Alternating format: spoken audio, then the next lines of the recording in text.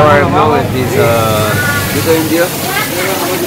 Having my lunch here I'm having a masala rava dosa from uh, Sri People shop. Okay, this is the uh, rava masala dosa, dosa. A little bit special, not dosa, dosa. Good tea. Uh, looks very good. But I will try now. Okay, because it's, uh, it's very hot, because it's uh, meat on the spot. Quite, uh, quite salty. Yeah.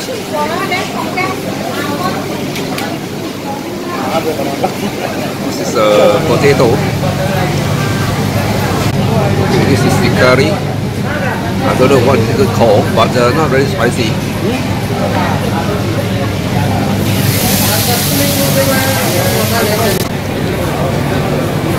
Alright, this is the uh, air kosong.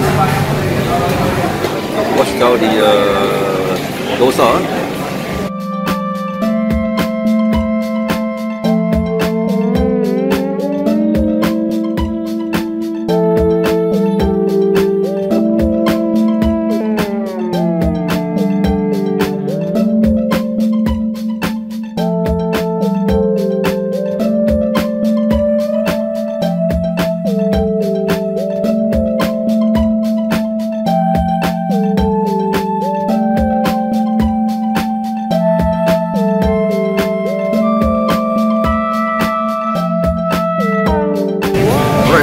Quite enjoy the uh, dosa or dosa, but actually it's uh, quite uh, quite big for me.